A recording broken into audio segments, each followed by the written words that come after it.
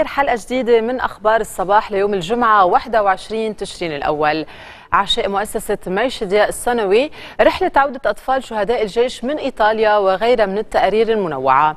أما ضيوفنا لليوم فهن المخرج المسرحي كريم دكروب لنحكي معه عن مسرحية يا قمر ضوي على الناس وسيد توفيق عيد المدير التنفيذي لشركة نوفو نورديسك لنحكي معه عن نشاط ال rally paper الخاص بمرض السكري.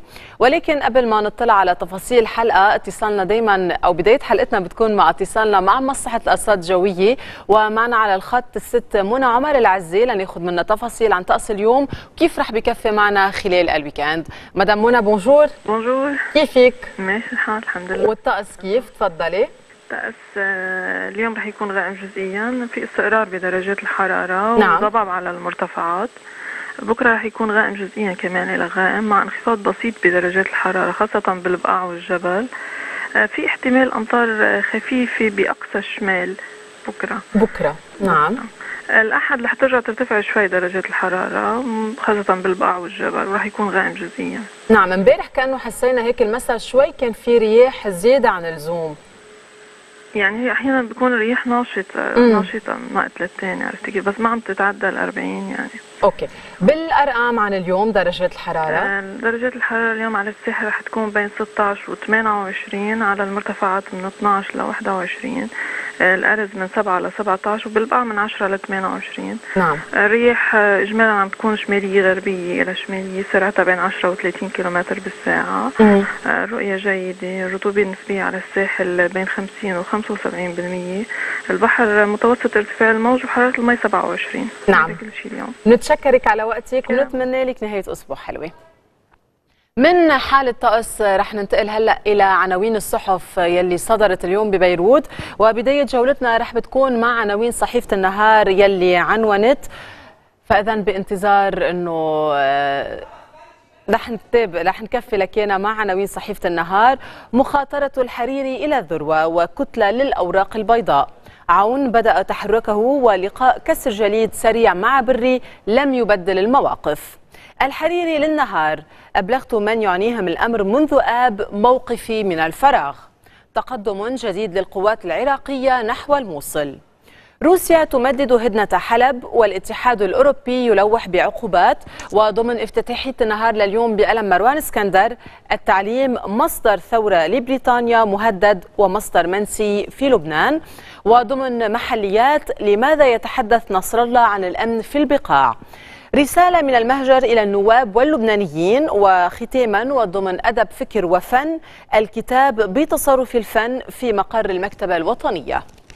من صحيفة النهار منتابع مع عناوين صحيفة السفير كن عوني فأكون سعدك. لقاء بارد بين بري والجنرال والعيون مفتوحة على الأمن. رصاص المسلحين أقوى من صمت هدنة حلب. جيش الفتح يروج لأم المعارك وتدفق السلاح السعودي. واشنطن والرياض عقوبات على حزب الله. وبعنوان أخير دعم دولي لعراقية معركة الموصل. تركيا تستنفر الخليج إلى صفها مذهبياً. من صحيفة السفير جولتنا نتابع معكم. وبعناوين صحيفة الحياة عون والحريري يطلقان انقلابا على الشغور الرئاسي. زعيم المستقبل وصف مبادرته بالمخاطرة الكبرى. واعتراضات وازنة أبرزها من بري وفنجي. القوات العراقية على بعد عشر كيلومترات من عاصمة داعش. مئات العائلات تفر من الموصل إلى مخيمات النزوح وبعضها يتجه إلى سوريا. السبايا إلى الرقة. تمديد هدنة حلب يعيد الحركة والتظاهرات إلى شرقها.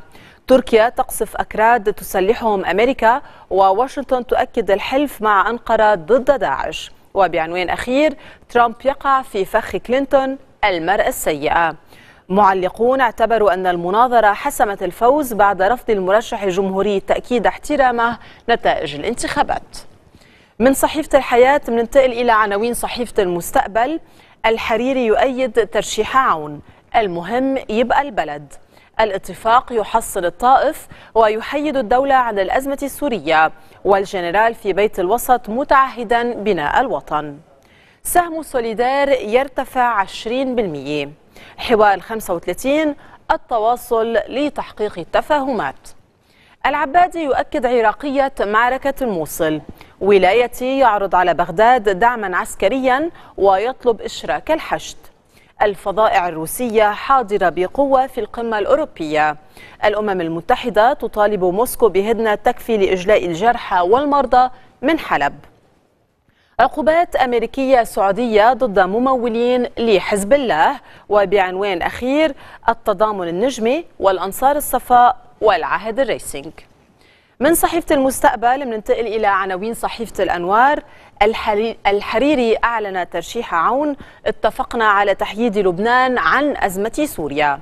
زعيم المستقبل ذهبت الثورة لحماية الثورة على العنف والأحقاد. القمة الأوروبية تبحث فرض عقوبات على روسيا. القوات العراقية تقترب من الموصل وتطرد داعش من مناطق جديدة. الحكومة السورية تهدد بإسقاط الطائرات التركية. اشتباكات في حلب ترافق الإعلان الروسي عن تمديد الهدنة وكتب المحلل السياسي بالأنوار لليوم الرئاسة في الغربال المسار ليس نزهة وختاما وضمن مقالة رفيق خوري مخاطرة خيار عون وطوبوية تحييد لبنان. من الأنوار منتابع معكم مع عناوين صحيفة اللواء الحريري يبحر بترشيح عون مخاطرة سياسية كبرى. جنرال الرابية في بيت الوسط شاكرا الترشيح ولقائه مع بري يكرس الخلاف. هدنة حلب تصمت في يومها الأول والمدنيون والمقاتلون يرفضون عروض المغادرة. عقوبات أمريكية سعودية مشتركة ضد مقربين من حزب الله. الحوثيون يخرقون الهدنة والرياض تتوعد بالرد. ترامب يرفض التعهد بالاعتراف بحكم صناديق الاقتراع بحال خسر ودايما بصحيفة اللواء اجتماع باريس خطوط إرشادية لإدارة المدينة بعد داعش. القوات العراقية تستعيد برطلة قرب الموصل. من صحيفة اللواء بننتقل إلى عناوين صحيفة البلد وبأبرز العناوين لليوم عون مرتاح لتأييد الحريري وبر يغادر. الأوروبي يحذر روسيا وتمديد وقف النار في حلب. من صحيفة البلد منتقل إلى الصحف الأجنبية وبداية بترجمة لعناوين صحيفة ذا ديلي ستار الحريري يدعم عون لحماية لبنان. القوات العراقية الخاصة تنضم إلى معركة الموصل بمواجهة داعش وبعنوان أخير الجيش السوري يحث المدنيين على مغادرة حلب. من The Daily Star إلى ترجمة لعناوين صحيفة L'Orient-Le Jour وبقي فك العقدة الشيعية لماذا لم تبدأ معركة الرقة بعد؟ الأكراد يهاجمون داعش بالقرب من الموصل. الحوثيون متهمون بخرق الهدنة. وفنيا وبعيدا عن السياسة سلمان بعلبكي ملك الرق. من لوريون لوجور منتابع جولتنا مع عناوين صحيفة الشرق الحريري أخاطر ولا أخاف. أعلن تأييد ترشيح عون رئيسا لكل اللبنانيين وحارسا للدولة. ضمن مقالة رأي الشرق لليوم بألم عون الكعكي قرار تاريخي لرئيس تاريخي. وبعنوان أخير اعتقال ثمانية انتحاريين سوريين مكلفين استهداف المقاهي واليونيفيل. من صحيفة الشرق جولتنا متابعة معكم وبعناوين صحيفة الشرق الأوسط. وزير الدفاع البرتغالي السعودية محورية وزيارتي لها حققت ثلاثة أهداف. قال للشرق الأوسط أن المجتمع الدولي يتحمل مسؤولية إطالة معاناة السوريين واليمنيين. عون يقترب من رئاسة لبنان والحريري مستعد أن أخاطر بمستقبلي. تضعضع في فريقي 8 و14 أذار والتشكيل الحكومي أول اختبار للعهد الجديد. دعوات دولية لحماية مدنيي الموصل وداعش يرد بالسيارات المفخخة. لجنة الأمن البرلمانية تحذر من اندفاعات في محاور القتال والحسم عند بوابة المدينة. الدقيقة الثالثة شاهدة على خرق الانقلابيين هدنة اليمن. مسؤولون أمريكيون يؤكدون وعمان تنفي تسليح إيران للحوثيين عبر أراضيها. وبعنوان أخير قصيدة وزير الثقافة الجزائري على إيقاع عزف نظيره التونسي. من صحيفة الشرق الأوسط إلى عناوين صحيفة الجمهورية يلي معها بنختم جولتنا على صحف بيروت لليوم انطلاق مرحلة ما بعد الترشيح. السفير الصيني للجمهورية. عون يحب الحزب والحزب يحب بري. القوات العراقية تتقدم لاستعادة الموصل وختاما بيصدر اليوم مع صحيفة الجمهورية ملحق إضاءات. جولتنا على صحف بيروت لليوم وصلت لختامها break وبنرجع منتابع أخبار الصباح. ضلكم معنا.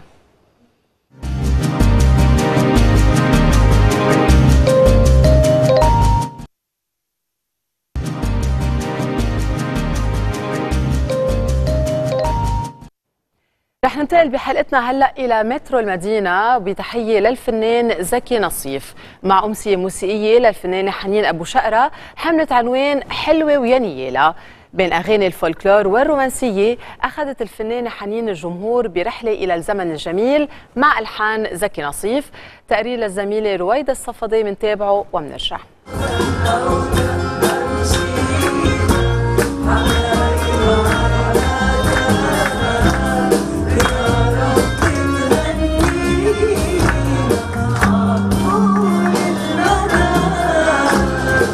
اعتلت خشبة مسرح مترو المدينة وبطلة الواثقة صوتا وحضورا غنت لذكي نصيف صانع الهوية الفنية اللبنانية استرجعت أعماله المتجذرة بالفكر والبيل من المواويل إلى العتابة والمجانة حنين أبو شقرة صوت فني بيمتلك إحساس وحنين إلى زمن الأغنية التراثية.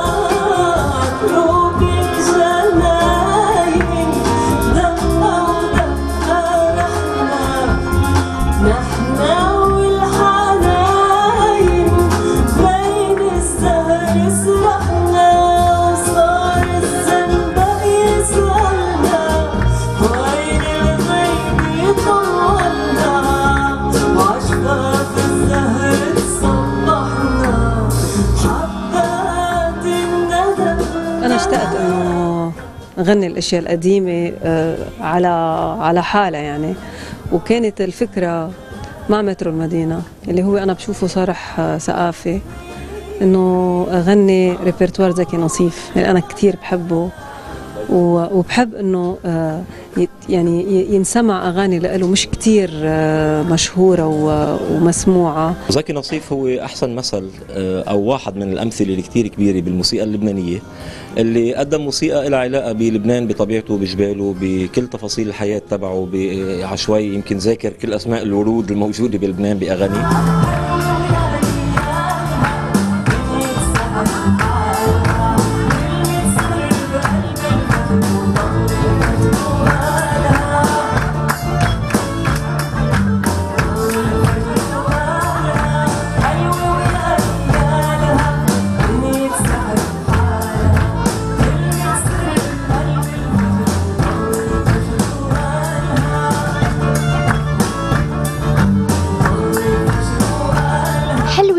نيالها هو عنوان الحفلة يلي أحيتها مع فرقة موسيقية مؤلفة من طراد طراد جوزيف سجعان مكرم أبو الحسن داني شكري وزياد الأحمدية يلي أبدع على البيانو والعود. العود بيعطي نكهة بمحل معين بالفولكلور مطلوبة آه، وعم بتضيف شيء بالحفلة يعني بالأخص إنه في موال مثل آه، مثل الشروقي وفي موال عتابة وفي مثل حدا هيك بيا ديار لنا آه، لازم العود يكون موجود بهالمحل.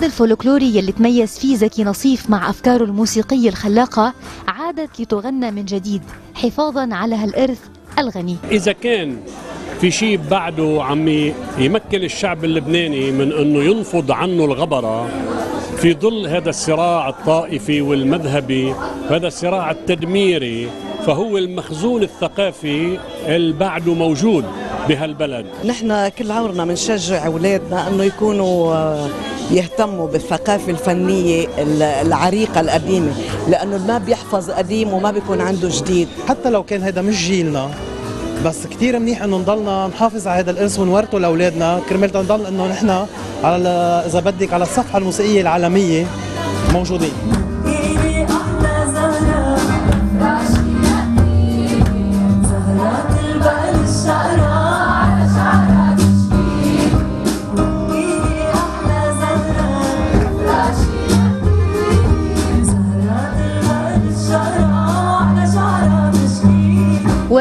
الحنين عادت بالجمهور إلى ذكرياتهم الحلوة مع أغاني يا عاشقة الوردي بربر آغا وغيرها من أغاني الذكي زكي نصيف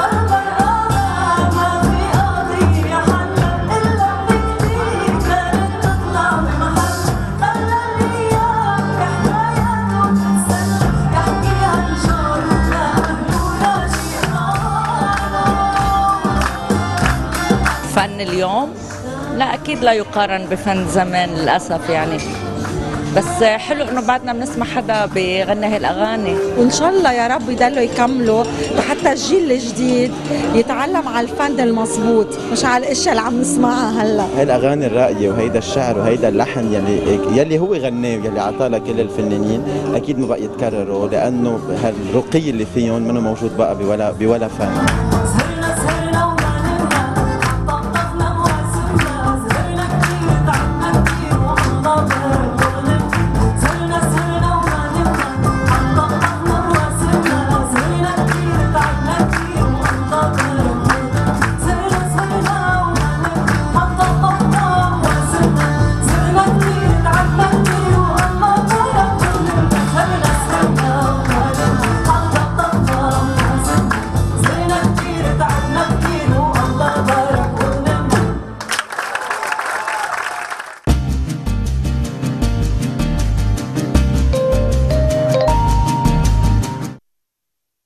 بعد هالوقفة الفنية رح ننتقل هلأ آه لناخذ فكرة أكثر عن حركة السير بهالأثناء. فإذا معنا على الخط المؤهل الأول أحمد شعبان من غرفة العمليات المشتركة التابعة لهيئة إدارة السير لناخذ منه تفاصيل عن حركة السير على مداخل بيروت وداخل العاصمة. صباح الخير. إيه صباح الخير كيفك؟ الحمد لله تفضل بالتفاصيل حركة السير كيف عم بتكون حاليا؟ بالنسبة لحركة السير مداخل العاصمة عم يشهدوا حركة صباحية المعتادة المدخل الشمالي لمدينة بيروت عم تكون الحركة ناشطة إلى كثيفة من جسر السراي وصولا للذوق اجمالا عم يتحول السير عنا لكثيف آه من آه مقابل ال ABC ضبيه باتجاه نقاش اونطلياس وصولا للكارنتينا شارل الحلو. نعم. بوليفار سن الفيل كذلك عم تكون عندنا الحركة عليه آه، كثيفة من نهر الموت باتجاه الإشارات في عندنا ضغط سير من الصالومة للحايك نزولا لجسر الواطي آه بالنسبة لمدخل الجنوبي الحركة عندنا ناشطة آه عم تكون عندنا من مفرق الدوحة تقريبا آه، وصولا لخلدي عم تتحول لكثيفة باتجاه الأنفاق طريق المطار. كذلك في عندنا حركة ناشطة إلى كثيفة على محور الحدث. آه في عندنا حركة كثيفة كذلك على كواع عريا وصولا لب- لبسوس عم تتحول لناشطة نزولا لأوتوستراد الرئيس لحود في عندنا حركة كثيفة كذلك على أوتوستراد الرئيس الهراوي باتجاه أوتيل جيسيسين كثيفة من قصقص باتجاه جدة عمر بيهم العاملية. كثيفة على المدينة الرياضية باتجاه الكولا. آه ونفق سليم سلام نعم. آه مشاكل اجمالا على الطرقات ما في عنا. آه في هيدي الحركة الصباحية المعتادة. نعم. بالنسبة آه، بالنسبة لإحصاءات للحوادث تفضل. اللي تسجلت عنا خلال ال 24 ساعة تسجل عنا تسع حوادث سير. آه للأسف كان في عنا قتيل وعشر جرحى بنتمنى لهم الشفاء العاجل. نعم. وبالنسبة لمخالفات السرعة؟ مخالفات السرعة الزائدة للأسف آه، في عنا 1123 محضر سرعة زائدة خلال ال 24 ساعة. نعم نطلب أكيد من السائقين مثل العادة وكل مم. يوم إنه يسوقوا على مهلهم وما يتجاوزوا السرعات المحددة على الطرقات حفاظا على سلامتهم وسلامة الآخرين خاصة إنه السرعة هي بنعرف السبب الأول للحوادث يمكن الحوادث اللي. ذكرتها من شوي هالعشر جرحى وثلاث قتلى يمكن آه، السبب كان نتائجهم فينا نقول إذا 90% منهم كلها سرعة زائده سرعة صحيح. كان في حوادث صدم بيناتهم آه في حادث حادثين صدم حادثين صدم. والباقيين حوادث اصطدام. نعم. من- آه، بنذكر آه، المستمعين أكيد إنه فين يتواصلوا معنا على موقعنا الإلكتروني على تويتر @TMC لبنان ليعرفوا آخر أخبار حركة السير على الطرقات. نعم. وفين يتصلوا فينا على خطنا الساخن ال 1720 ليبلغونا عن أي مشاكل مرورية بتصادفهم. نعم المؤهل الأول أحمد شعبان شكرا لوقتك. بنتمنى لك نهاية أسبوع حلوة. اليوم الجمعة وموعد ثابت مع زميلنا يقظان التقي على إذاعة الشرق ضمن المجازين السياسي. السياسي وبالتفاصيل عن حلقة اليوم ضيوفه رح بيكونوا مدير بيت المستقبل للأبحاث والدراسات سامي منسى مدير مركز أنيجما لأبحاث الأمن بالشرق الأوسط رياض أهوجي والكاتب السياسي أكرم سكري. وبالمجازين لليوم رح بيكون في مداخلات مع الدكتور فارس سعيد منسق الأمانة العامة لقوى 14 أذار والخبير الاستراتيجي إلياس حنا. المجازين السياسي إذاعة الشرق 8:30 صباحا. بنتوقف هلأ مع بريك وبنرجع من بعده تقرير أخبار الصباح وضيوفنا ضلكم معنا.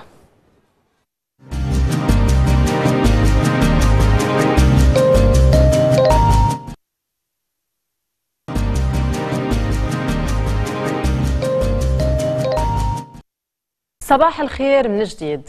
من محاولة الاغتيال انطلقت. انطلقت بمشروع بيهدف أولا وأخيرا إلى اغتيال الإرهاب بالإبداع إلى محاربة الجهل بالثقافة.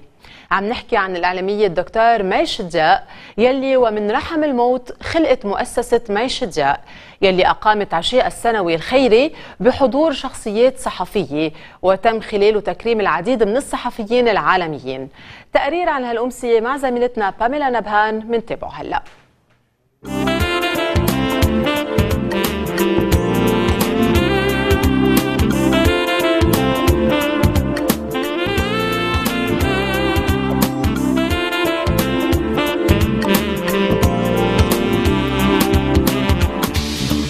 شدياء الصحفية الجريئة اللي أصبحت اليوم مثال للشجاعة النضال القوة والكلمة الحرة.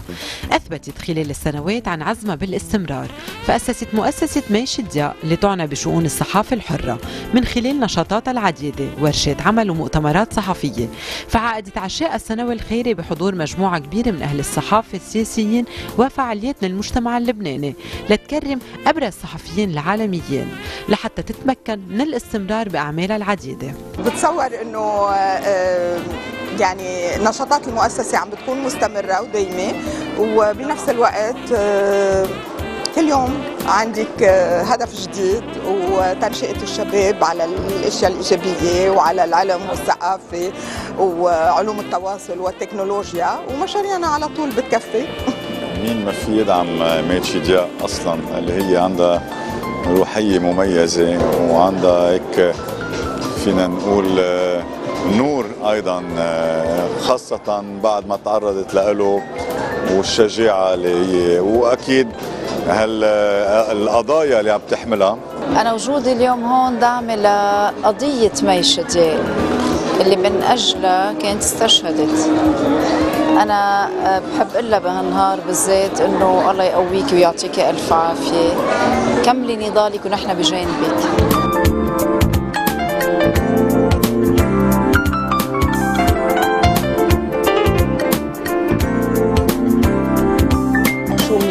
انه الإنسان ينهض من بعد أي مصيبة بيتعرض لها ويقدر إنه يقوم ويقوم بعزم وبقوه آه منه سهل اللي مرت فيه دكتورة مي ولكن بنفس الوقت قدرت إنها تخلق من الضعف قوة. أهم شيء بهيك نشاطات هو القدرة على الاستمرار. طبعا إنه آه كل سنة يكون آه وجود هالمؤسسة موجودة وعم تكون عم تقدر تعمل برنامج أقوى من البرنامج تبع السنة اللي قبلها. العبر اللي نتجت عن اللي صار معها وظفتها لا بالحزن ولا بالانكفاء ولا بالصدمة وظفتها بالأكثر بالإقدام بالنجاح بالتحدي. يعطوا أمل لهالصغار ولهالشباب الطالعين إنه رغم كل شيء رغم العنف رغم الزبالات رغم كل شيء بعد في ناس عم يوصلوا لحد ما يشدوا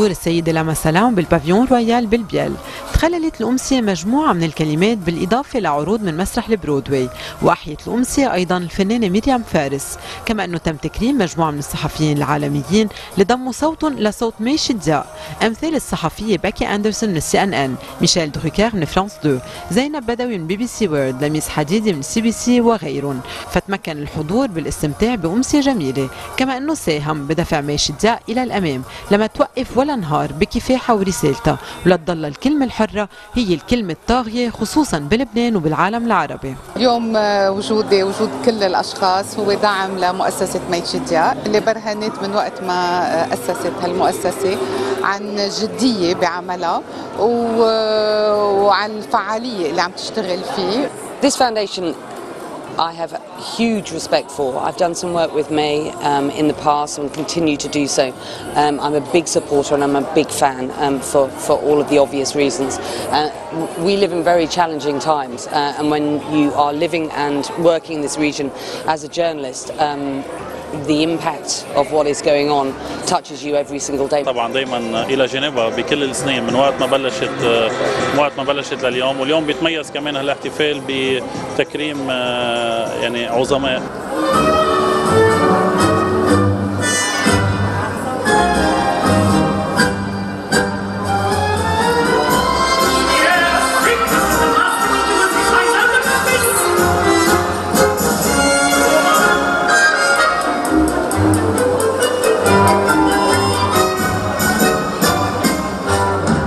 شيء بالموضوع إنه عاملين theme وال theme الليلة هو Broadway style يعني أنا لقيت نفسي وأخيرا قدرت سقط ريشة.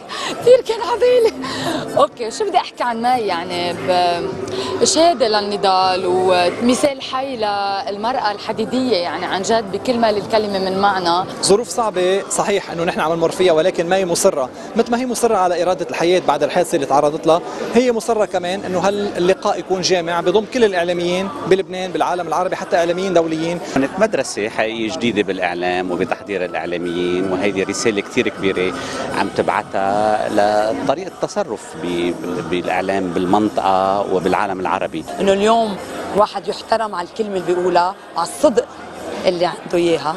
ونحن اليوم عم نكمل مع المسيرة ونتمنى إنه تضلها هي حامل الشعلة ونحن وراها.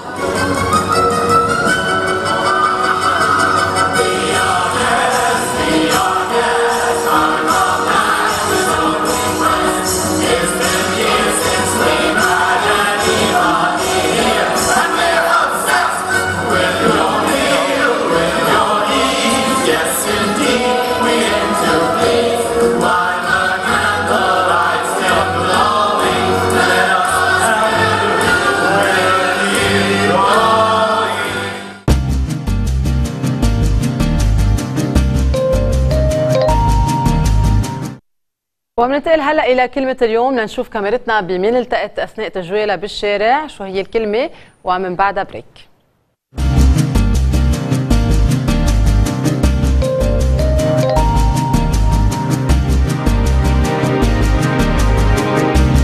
محت ووجهك بيقرب الله ليه؟ لأنه وجهك بيقرب الله كأنك من المستقبل لأنك تقرب الله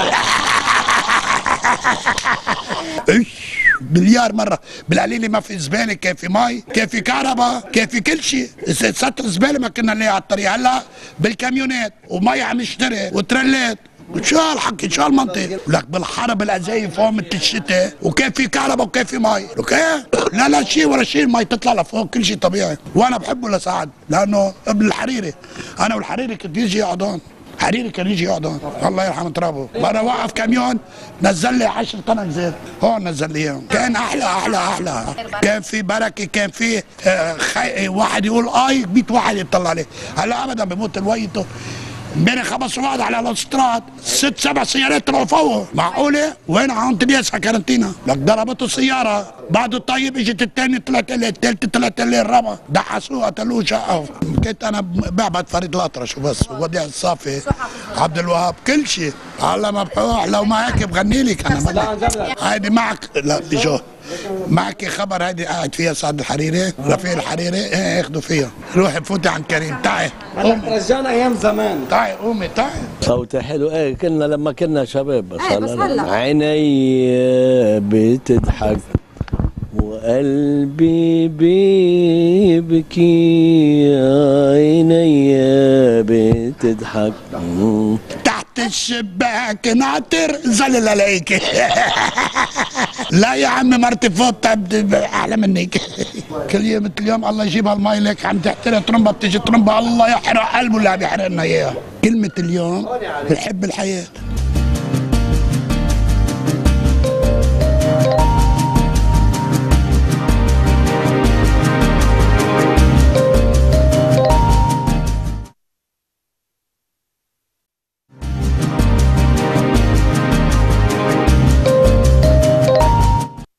ب 30 الشهر رح تشهد منطقة الجميزة ومحيطها على rally paper بس rally paper خاص وهو دعما وللتوعية عن مرض السكري. ولناخذ تفاصيل أكثر نستقبل ضيفنا لليوم توفيق عيد حضرتك آه، من شركة نوفو نورديسك تلحقنا أكثر بأجواء هال rally paper خلينا نقول أول شيء ب 14 تشرين الثاني هو اليوم العالمي.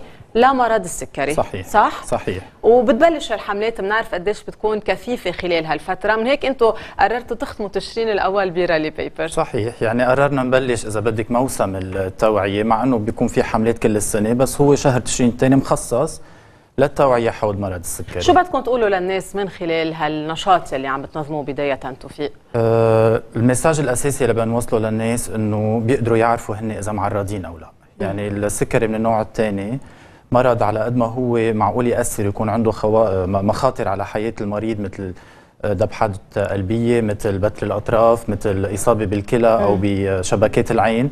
مثل ما أنه إذا كنا واعيين على المخاطر نقدر نتجنب كل هالمضاعفات.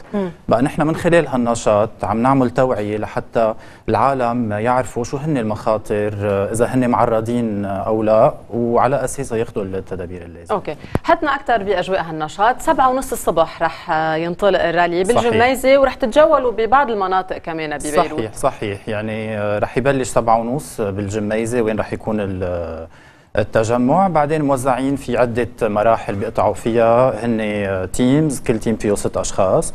بيقطعوا من مرحلة لمرحلة بمنطقة كبيرة يلي بتتضمن جميزة مار مخايل لحد المتحف وسوليدير يعني بدكم تعملوا circle بدنا نقول هيك جولة نوعا ما دائرية ببيروت مثل ال pin يلي انت لابسه على الجاكيت هو شعار ال World Diabetes Day أو اليوم العالمي للسكري.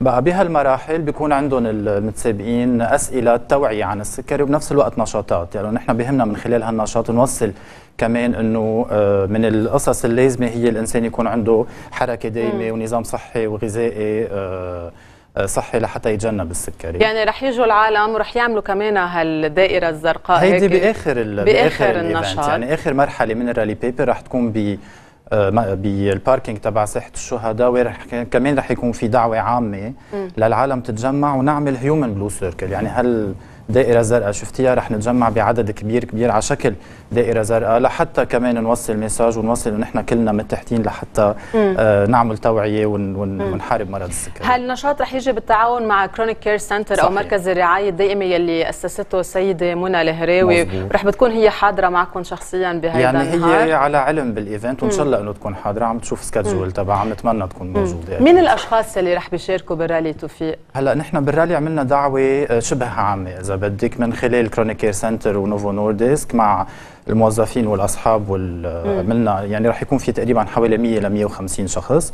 بينما بساحه الشهداء بال parking رح تكون الدعوه مفتوحة أكثر للي بده. يعني نحن في هونيك نشاطات توعية في العالم تقدر تعمل فحص مجاني للسكري من خلال ال team تبع Chronic Care Center معلومات عن ال diet عن ال exercise عن كيف يقدروا في questionnaire بيقدروا يعبوه اسمه Know Your Risk حتى موجود online hashtag Know Your Risk لحتى يقدروا يشوفوا هن إذا معرضين أو لا وكيف فيهم يتوجهوا ساعتها للأخصائيين لحتى يتفادوا المشاكل. بتعرف أشخاص بالعائله أو بالأصحاب بيعانوا من مرض السكري و... قد ما بدك يعني ورح ينزلوا رح بيشاركوا بهيدا النهار. أكيد يعني هيدا المهم يعني إذا بدك إحصاء صغير من البالغين بلبنان بين ال 20 وال 70 سنة في تقريبا حوالي 20% مصاب 12% عفوا مصابين بالسكري ونصهم ما بيعرفوا.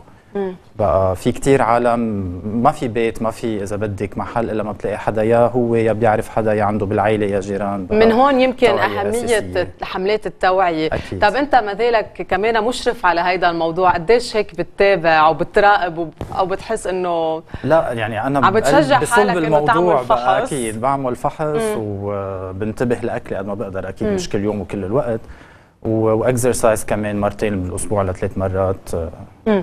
طيب آه، توفيق هيدا رح بيكون البداية صحيح. تنقول ب 30 الشهر مع ه rally paper صحيح. بس خلال شهر تشرين الثاني شو رح بيكون في كمان حملات آه، بارزة للتوعية حول مرض السكري يعني نحن في بك عدة مناطق إذا بدك وهول مش بس يعني ال Chronic Care Center ونوفو نورديسك بيعملون عدة حتى صح. جمعية الأطباء للسكري مم. وكله بيعملوا حملات أكثر شيء بتكون حول الفحص لأنه هون بتبلش. يعني إذا الواحد عمل فحص السكري بيقدر يعرف إذا هو آه، بال norme المضبوطة ولا لازم يقدر يعمل فحوصات أكثر وبنفس الوقت آه، معلومات حول المرض حول ال lifestyle إنه الإنسان لازم على طول يعمل exercise لازم على طول ياكل بطريقة صحية وينتبه من هيك. نقيتوا نشاط رياضي يمكن تبلشوا. فيه أكيد. طيب قديش الأطباء كمان هن مشاركين معكم ب 30 الشهر هلأ داعميننا أكيد بس أكيد عندنا بالجانب هول ال- ال- النشاطات ال public إذا بدك بكون عندنا نشاطات علمية بيشاركوا فيها الأطباء. لأنه هن بيفوتوا أكثر بخصوصيات المرض والعلاج والوقايه أكثر ما إنه نحن بس توعيه على كيف الإنسان يعيش حياته اليومية. طب سنة بعد سنة عم تلمسوا ما بعرف تطور بهيدا الموضوع أو عم بتحسوا إنه التوعية عم تنتشر أكثر ويمكن عم بيتم إنه الأشخاص عم بيتشجعوا أكثر إنه يعملوا الفحص للكشف عن في السكري تطور بس منه كافي يعني في إذا بدك لازم تكون جهود بعد أكثر بكثير لحتى هل تقريبا الإحصاءات بتقول إنه المفروض يكون في لبنان حوالي 450 ل 460 ألف مريض سكري نصهم ما بنعرف وينهم.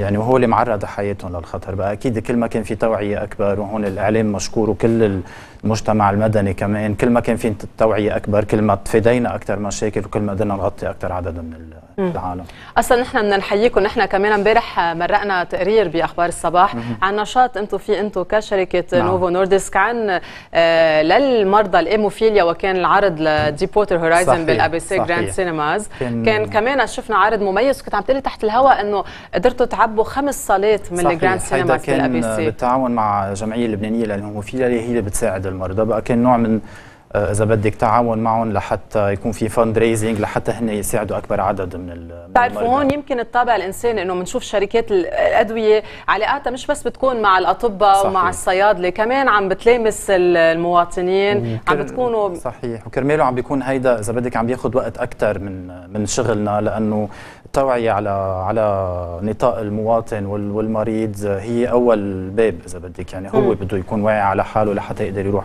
يسأل الحكيم أو يسال الصيدلي أو يقدر ياخذ نصايح اللي لازمه. ل طيب من الإيموفيليا إلى السكري هلأ شو عم بتشك... آه، شو عم بتحضر كمان نوفو نوردسك هلا نشاط آه، هلأ في مقبل؟ عندنا كمان نشاط على ال growth disorders يلي هو مم. آه، مشاكل النمو عند الأولاد بنحكي فيه بوقتها بس كمان عم نعمل توعية على الموضوع مم. تقريبا بتبلش بعد كم يوم لحد آخر السنة أوكي نحن بما إنه حكينا عن نشاط الإيموفيليا رح نرجع هلأ نسترجع سوا هالتقرير توفيق بتتابعوا معنا أكيد يلا. وكمان إذا فينا نمرق تفضل. الدعاية. لل rallye papier هيك العالم بيشوفوها. بيعرفوا أكثر كيف هي آه مرقت already ال flyer sorry، ما أوكي؟ أوكي. لكن رح ننتقل هلا إلى صاله ال Grand Cinema بال ABC اشرفيه حيث نظمت الجمعيه اللبنانيه للإيموفيليا وبالتعاون مع نوفو نوردسك ببيروت عرض لفيلم مارك وولبرغ الجديد Deepwater Horizon بهدف المساهمة لجمع التبرعات لصالح المتعايشين مع داء نزف الدم الوراثي أو الهيموفيليا. تفاصيل من تبعها بهالتقرير ومن بعدها break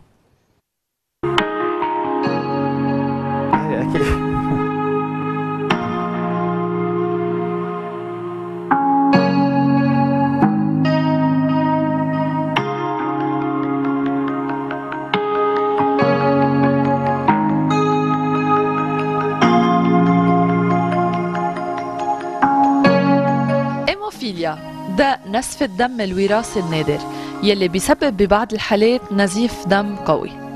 كجزء من حملات التوعية وجمع التبرعات للمرضى لأنه كلفة العلاج باهظة جدا وكان داخل صالات ال Grand Cinemas ABC أشرفية عرض خاص لفيلم Deepwater Horizon يلي بيعود ريعه لجمع تبرعات للجمعية اللبنانية للإيموفيليا. بالتعاون مع نوفو نورديسك ببيروت لنجاح هالنشاط.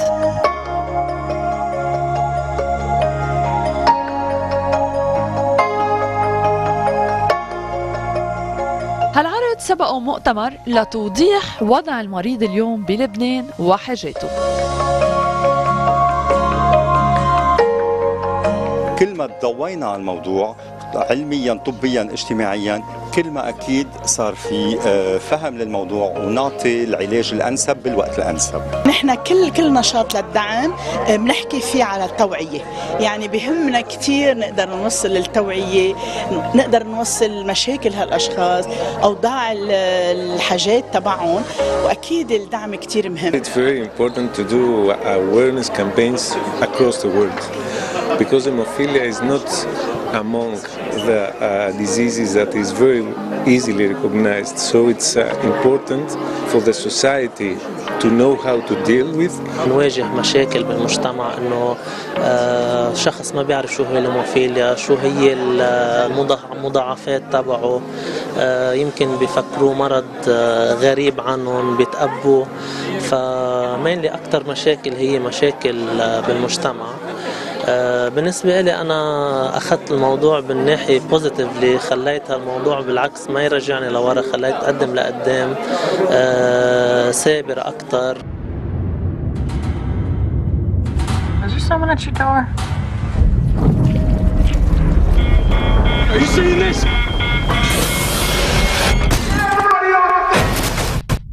Mike, what is that? Is everything okay?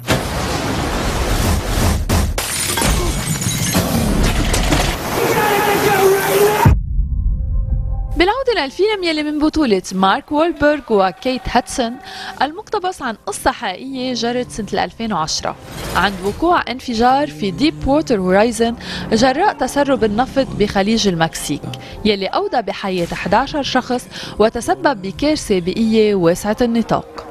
فيلم مؤثر بياخدنا برحلة مع هالعلماء النفط وبدأ بالصلاة اللبنانية.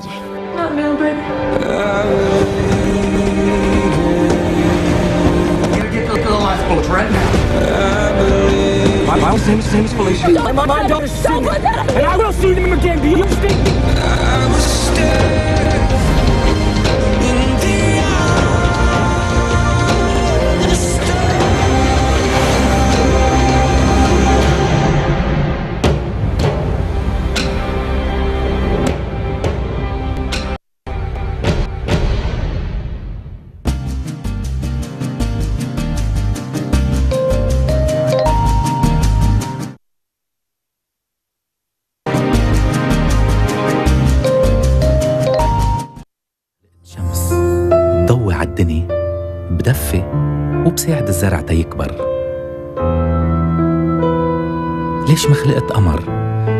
ينور الطرقات بالليالي.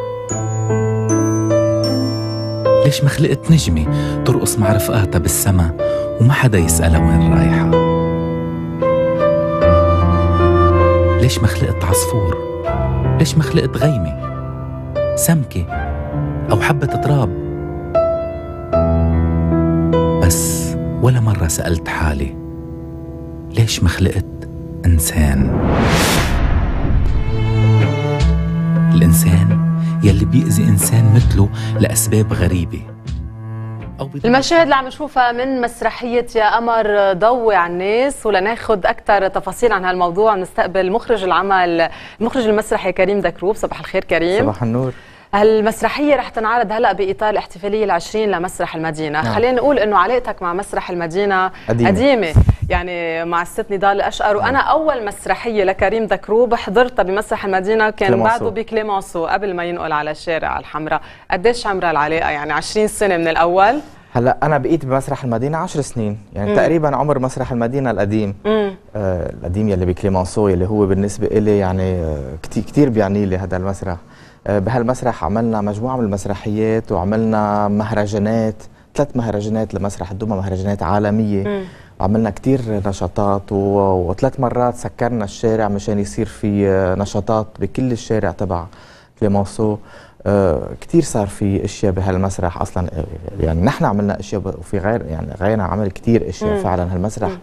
آه، شهد كتير آه، نشاطات وهالنشاطات إلى يعني إلى بصمة كتير كبيرة بمدينة بيروت إن كان المسرح القديم أو المسرح مسرح الجديد. الجديد صح. ولابد ما يكون اسم كريم دكروب مدرج خاصة إنه بتقدم مسرح الدمى اللي هو مسرح هيك عنده خصوصية كتير حلوة. وبنفس الوقت هو موجه للكبار وللصغار بدنا نحكي بالأخص عن يا قمر ضوي على الناس كريم. عن شو بيحكي هالعمل؟ هذا العمل بيحكي عن يعني في تساؤلات ليش الإنسان متوحش؟ مين هل بيطرح التساؤلات الذئب. لأنه هو متهم الذئب هو المتوحش. آه، فبنبلش المسرحية بسؤال آه، الذئب هو عم يسأله إنه طب ليش الإنسان هيك؟ ليش ليش هيك بيعمل بالإنسان؟ وفي استحضار لبعض القصص ال- حتى من الكتب السماوية الموجودة حول الإنسان وحول حكمة يعني حكمة يعني ال الإنسان اللي يلي, يلي يعني الحكم اللي بتفرجينا قديش الإنسان عنده عنف وقديش في بعض الناس وهن كتير قلال بيعطوا شوية أمل لأنه البشرية وقد إيه الكتب السماوية بتحارب هالعنف ودائما 100% بتدعي لنشر 100% السلام. 100% طبعا آه يعني عم نحكي عن هذه الفكرة وعم نحكي عن ال- الذئب عم بيحكي عن حكايته هو كيف عم بيعيش. هذا هذا الصراع. يلا رح نشوف هلأ بعد المشاهد ونرجع بنكفي حديثنا معك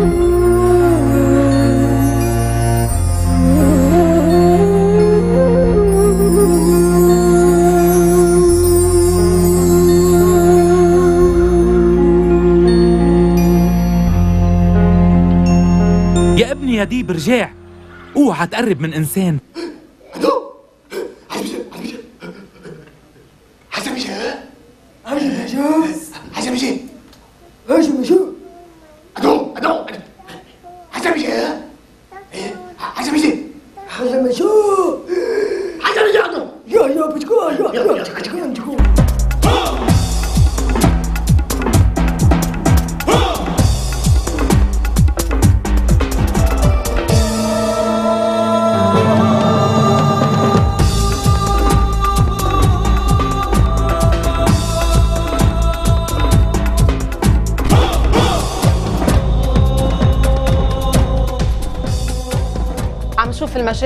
لفتتني الموسيقى. الموسيقى هي من توقيع أحمد كعبور. طبعاً. هو كمان تعاون دائم بكل مسرحيات طبعاً. كريم دكروب هالتعاون. من قائم 23 سنة.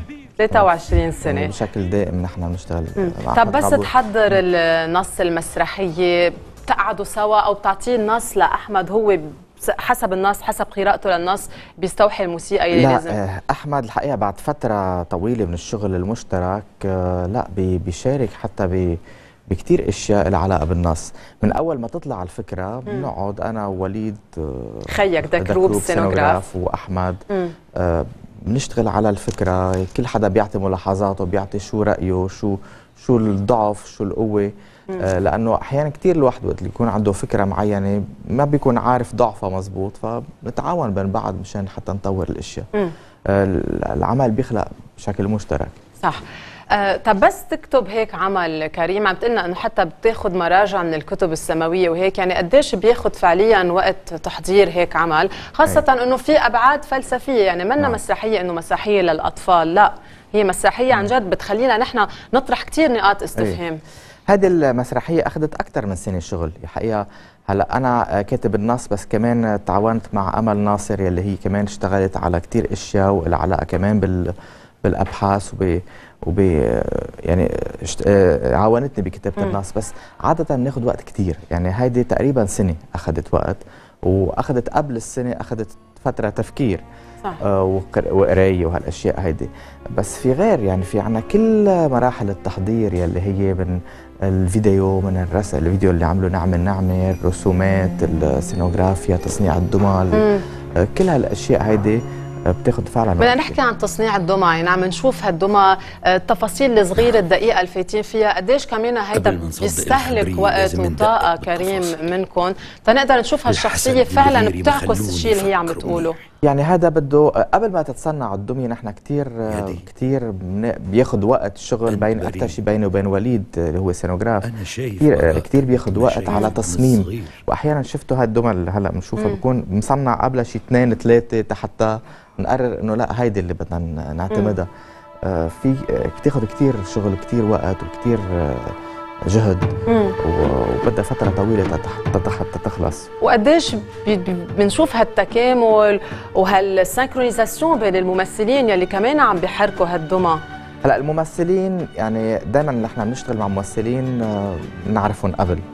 يعني بهالمسرحية في كاتيا دكروب في آه، سيرينا الشامي في آه، آه، وليد جابر في ادون خوري آه، فؤاد يمين. فؤاد مساعد مخرج. آه، فؤاد نحن دائما من عشر سنين بنشتغل نحن فؤاد يعني هو. هو ممثل دائم بالمسرحيات تبعنا وهل بهالمسرحية كان مساعد مخرج. آه لأنه كثير بوثق كمان برايي فؤاد كمخرج. على فكرة فؤاد مخرج مهم. ف آه، هول ال- الأشخاص معظمهم أو كلهم كانوا طلابي بالجامعة. طلابنا وأنا يعني. كنت طالبتك أصلا مبسوطة إني مستقبلتك اليوم وأنا كمان. مبسوط فبعرفهم كثير. منيح وبيعرفوني كثير منيح وفي بيناتنا يعني في لغة مشتركة مم. فوقت اللي نجي على التدريبات مش بنبلش من الصفر بنبلش من من تجربة مشتركة موجودة بنفهم على بعض كثير و... صح. وبيمشي الحال بس بدها وقت كثير يعني الشغل على المسرحية والتدريبات على المسرحية بدهم وقت وبدهم جهد كثير كبير. يلا بدنا نشوف بعض المشاهد وبنرجع بنكفي حديثنا.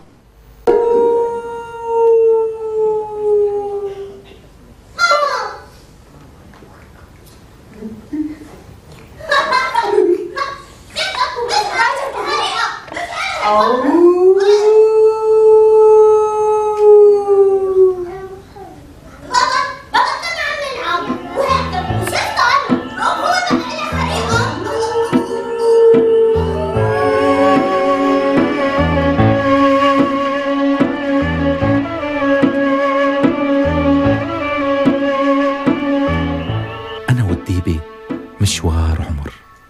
بيخلص لآخر العمر. الليلة دور ابني الكبير. هو كان رح يطير من الفرح. بس أنا كنت قلقان والديبة أكتر. كريم أنت اخترت هالعمل إنه تقدمه بإطار احتفاليه العشرين لمسرح المدينة لأنه هيدا كان آخر عمل قدمتوه. بس خلال السنة دائما في نشاطات عروض كثيره بتقدموها. مثلا بالصيف كل سبت بتنقوا عروض مسرحية كمان كنتوا تقدموها بعد الظهر. وحسب في مسرحيات يمكن للأطفال في مسرحيات لا يمكن tout public تشمل الكبار والصغار. قد إيه جمهور آه، مسرح الدمى آه، بيتابعك كريم؟ من وقت ما بلشت لهلأ وقد إيه هلأ الجمهور صار بيجيب اولاده كمان على إيه. المسرح؟ هاي أنا من أول ما بلشت من 23 سنة كان عندي حلم وهالحلم تحقق بشكل كبير. إنه يصير عندنا répertoire يعني مجموعة مسرحيات عم تنعرض بنفس الوقت ومسرحيات ما توقف إذا مسرحية ناجحة بتبقى ناجحة مثل ما بتعملوا ماشية. بالصيفية. إيه بالصيفيه وبالشتاء. كمان وهلأ حنبلش بعد جمعتين ال- العروض عروض السبت فنحن بالشتاء كل فترة الشتاء والخريف والشتاء والربيع بنعرض كل سبت وكل فترة الصيف بنعرض كل خميس ليش كل خميس؟ لأنه العالم بتروح على العطل وهذا. فنحن بنعرض كل أسبوع مسرحية بنعمل برمجة. يعني في عندنا مسرحيات عمرها 23 سنة مسرحيات عمرها 20 عمرها. فبنعمل آه، عروض آه، محتفظين بكل الدمى يعني كله بعده. مش بس محتفظين محتفظين ونحن بنجددهم. يعني. بنرجع كل مرة من وقت اللي يعتقوا بنرجع بنعيد آه، تصنيعهم من جديد. بس السنة في عنا آه، شغلتين هيك جداد بدنا نعملهم. أول شيء احتمال كبير إنه نبلش مش بس كل سبت بصير كمان كل أحد بمسرح تاني. اللي هو مسرح الجميزي أنتوا هلا عم تعرضوا بدوار, بدوار الشمس, الشمس بينضم له إيه مسرح بينضم. له آه، مطرح تاني. آه، بالإضافة لهيك نحن السنة بدنا نعمل احتفالية ل 20 سنة ل- لمسرحية اسمها شتي يا دني سيسان المسرحية مثل فيها مجموعة من الممثلين مم.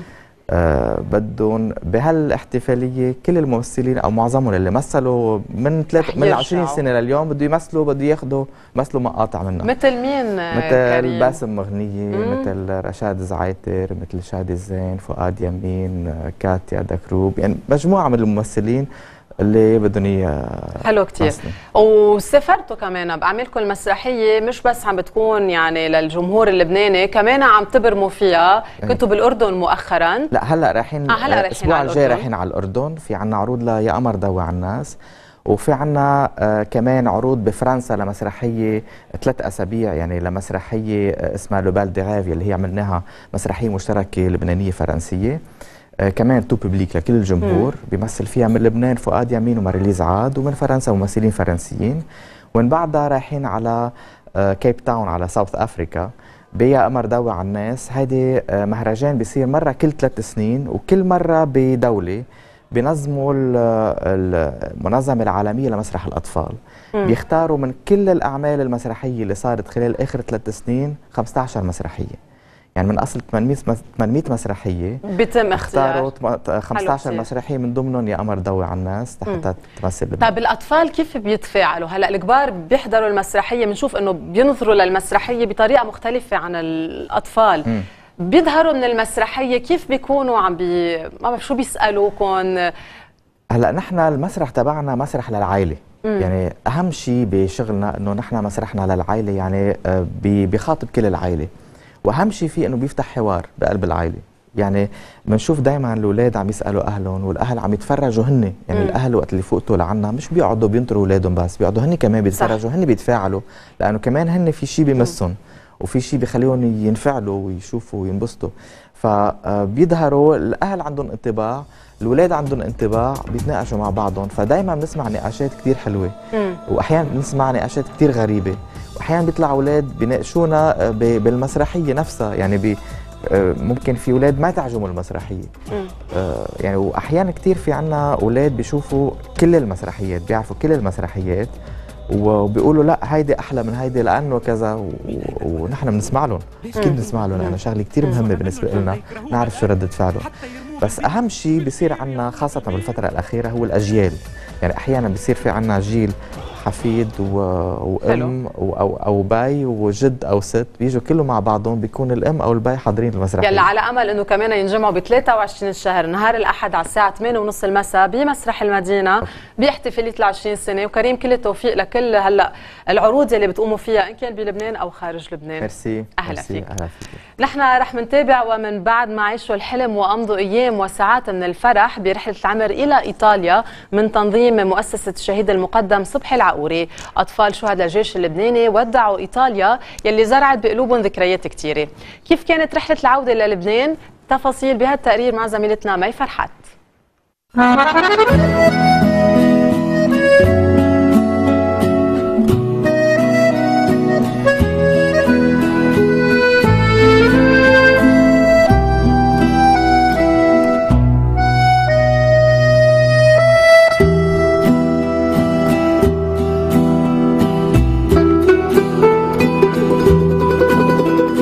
شيء حتى نقول لهم توصلوا بالسلامة على لبنان على الوطن العزيز. هيك ودعت زوجة السفير اللبناني للفاتيكان أبناء شهداء الجيش اللبناني يلي فاجأتهم بزيارة صباحية إلى المدرسة المارونية لتوديعهم. يعني الحزن يلي اجى عليهم وعلى حياتهم ما بيتعوض ابدا فإذا اجى نقطة فرح ببحر الحزن يلي هن فيه هيدي ما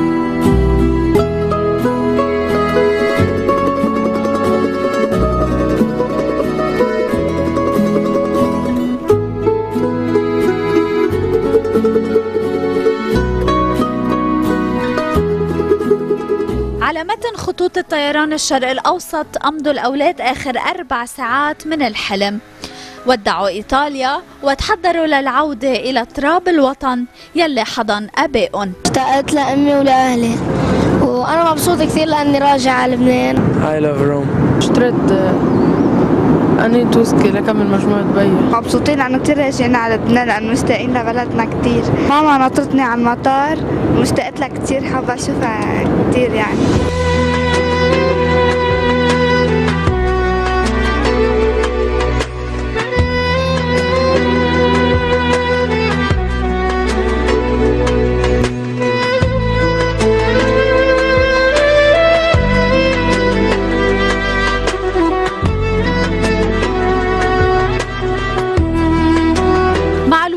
إلى مطار رفيق الحريري الدولي أمهات أخوات ورود ودموع. هيك ضج المطار باستقبال اختلطت مشاعره بين الفرح والاشتياق. اشتقت لها عم ببكي لأنه اشتقت لها انبسطتي يا أنجلا؟ إيه. أنا أمولة فهد. experience جديدة. ويعني بغير جو وبيطلع من هالجو اللي نحن فيه. يعني أول مرة بتسافر حسيت إنه يعني هن سبعة أيام بس حسيتهم سبع سنين. بنتشكرهم كثير وهن أهل لإلها كمان من بعد بيا. بس اطمنا إنه مع مؤسسة عسكرية يعني بتشرف الحمد لله يعني و... ومع لجنه كثير يعني بترفع الرأس. بتعوض إن شاء الله إنه شوي هيك بتدخل الفرحة والبسمة على قلب الأولاد يعني لأنه انحرموا من إشياء بتعوض لهم إشياء ثانية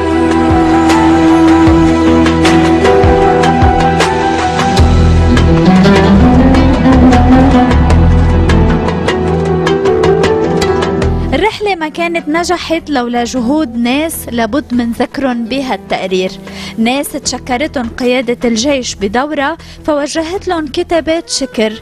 ناس وضعت أولوياتها للجيش اللبناني بالفعل وليس بالقول. السيد أنطوان مظلوم الراعي الرسمي للسفرات يلي بتنظمها مؤسسة الشهيد صبحي العقوري.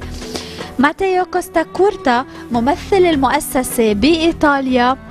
والملحق العسكري الإيطالي بلبنان الجنرال بيير لويجي مونتيدورو بيعملوا مجهود كبير مشانهم مشان يكونوا مبسوطين ومرتاحين. السند موجود على طول الحمد لله بوجود الجيش وقائد الجيش على راسهم.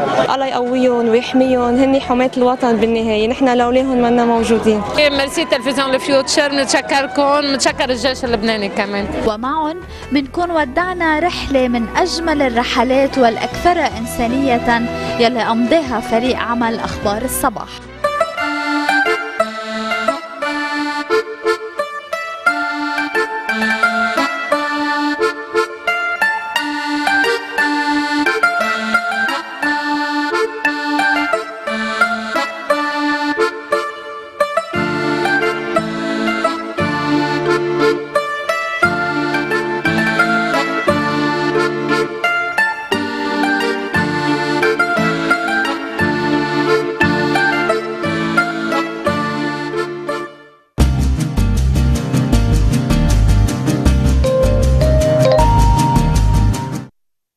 التقرير المميز بنكون وصلنا إلى ختام حلقتنا لليوم والختام رح بيكون مع التقرير الرياضي. بكرة حلقة جديدة من أخبار الصباح كونوا على الموعد. bye.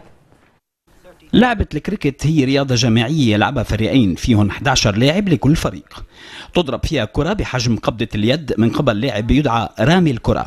أما اللاعب الخصم يلي يدعى رجل المضرب فيحاول صد الكرة باستخدام مضرب نحيف شبيه بالمجذاف. يتركز الانتباه أساسا حول علامتين تشكلان الأهداف. تدعيان wicket وهن مجموعة من ثلاث عصي متصلة. تسمى جذوع الكريكت. يحاول رامي الكرة إصابتها لكي يوقع قطعتين خشبيتين اثنين مثبتتين على الجذع ويدعيان كفالات الكريكت. تلعب الكريكت على ميدان معشوب تتوسط أرض بيضاء طولها 20.12 متر. في الواقع تاريخ بداية رياضة الكريكت مجهول نوعا ما ولكن بداية هذه الرياضة تنسب إلى القرن السادس عشر في إنجلترا حيث أنها كانت الرياضة المفضلة لدى الأمير إدوارد ابن الملك إدوارد الأول. وهناك أقاويل أخرى ترجح أصلها إلى عام 1598 ميلادية حيث أنها كانت تلعب من قبل الأطفال في إحدى المدارس البريطانية لا تتطور فيما بعد إلى رياضة تمارس من قبل الكبار والصغار. بدأ الاهتمام بهذه الرياضة في عام 1660 ميلادية حيث بدأ الناس باحتراف هذه الرياضة لتشتهر فيما بعد عن طريق إحدى المقالات التي نشرت عام 1679 ميلادية. في القرن التاسع عشر حدثت تغييرات كثيرة في رياضة الكريكت فقد تغيرت قوانين اللعب وأنشئت أول بطولة دولية لرياضة الكريكت ولعبت أول مباراة عالمية لرياضة الكريكت في عام 1844 ميلادية بين فريق الولايات المتحدة الأمريكية وبين كندا. وفي السنوات القليلة الماضية اشتهرت الكريكت في معظم أرجاء العالم ليصبح عدد أعضاء ال ICC التي ستتعرف عليها لاحقا 104 دولة من ضمنهم عدة دول عربية كالمملكة العربية السعودية وقطر وسلطنة عمان ومملكة البحرين والإمارات. العربية المتحدة. رياضة الكريكت تلعب بمضرب وكرة يتبارى فيها فريقين يتألف كل منهم من 11 لاعب وهي لعبة شائعة في بريطانيا وفي الدول التي كانت خاضعة لها وتلعب الكريكت على ساحة دائرية أو بيضية من العشب حيث يتركز اللعب على شريط من الأرض بين مرميين يتكون كل منهم من ثلاث جذوع خشبية وعصوين تسميين المثبتين حيث يستقران على قمة الجذوع ويتناوب الفريقان في الضرب والصد وعند قيام الفريق بالصد تصدق يقف أحد أعضائه ويدعى الرامي بالقرب من أحد المرميين. يقوم الرامي بالجري إلى المرمى ويرمي الكرة بحركة ذراع عنيفة في اتجاه مرمى الخصم. وترتد الكرة مرة واحدة أمام المرمى في معظم الرميات. ويقف لاعب آخر من فريق الصد يدعى حارس المرمى خلف المرمى. ويدعى لاعبو الفريق الضرب الضاربين. ويقف أحد لاعبينه عند المرمى الأبعد ويدعى الضارب حيث يواجه الرامي ويحاول ضرب الكرة بمضرب طويل مسطح. فإذا ما أزاحت الكرة العصا عن الجذوع فإن الضارب يخرج من اللعب. أما إذا ضرب الكرة إلى الساحة فيقوم هو وزميل له يدعى غير الضارب ويقف عند المرمى المضاد محاولين تسجيل دورة. ويتم التسجيل في كل مرة يقومان فيها بالجري إلى المرمى المضاد قبل ما يتمكن المدافع من إزاحة العصا بواسطة الكرة. وأحيانا يتمكنان من الجري جيئة وذهابا لعدة مرات قبل ما يتمكن المدافع من إعادة الكرة. ويستمر الضاربان في اللعب حتى يخرج أحد. ويتم استبدال أحد زملائه باللاعب خارج. كما يتم تسجيل النقاط للضربات التي تصل أو تتجاوز حدود الساحة ويمكن أن تستمر مباراة الكريكت الرئيسية من ثلاثة إلى خمسة أيام أو أكثر ويكون الفوز حليف الفريق اللي بيسجل أكثر الدورات تتفاوت أبعاد ساحة لعب الكريكت من مكان لآخر إلا أن الأبعاد الشائعة هي 137 متر للعرض و150 متر للطول وتبلغ المسافة بين المرميين 22 ياردة أي 20.12 متر في وسط الساحة حيث يكونان متزوازيين ومتقابلين. ويبلغ عرض كل مرمى 9 بساط 22.9 سنتيمترات وتسمى المسافة بيناتهم بمسافة المرمى. وتكون الجذوع قريبة بعضها من بعضها لحتى تمكن الكرة من المرور بين أي اثنين منها أما ارتفاع الجذوع فيبلغ 28 بوصة أي حوالي 71.1 سنتيمتر. يبلغ طول كل عصا 4 بوصات و8 على 3 من البوصة 11.1 سنتيمتر. وتستقر العصوان في أخديد على قمة الجذوع ولا ترتفعان أكثر من نصف بوصة. وتستخدم الطباشير أو الجير الأبيض لعمل خطوط بيضاء لحدود معينة في الساحة. ويخترط أحد الخطوط الذي يبلغ طوله 8 أقدام و8 بساط جذوع المرميين على أن يكون الجذع الأوسط في منتصفه. ويحدد خط آخر مسافة أربع أقدام للأمام حيث يمتد لمسافة 6 أقدام على أي من جانبي منتصف المرمى إلا أنه يعد غير محدد الطول. ومن نهايتي الخط المار بالمرمى يمتد خطين إلى خط الآخر وإلى الخلف لمسافة أربع أقدام خلف الخط المار بالمرمى. ويجب على اللاعب تمرير الكرة وجزء من قدمه الأمامية خلف الخط الأمامي بينما يكون الجزء الخلفي من القدم بين الخطين.